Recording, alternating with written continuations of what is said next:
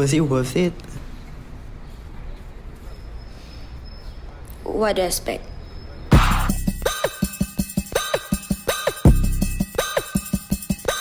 Praise the Lord. Cause I fucking did it, yeah, I fucking said it, understand me. Girl, what do you mean? What do you think?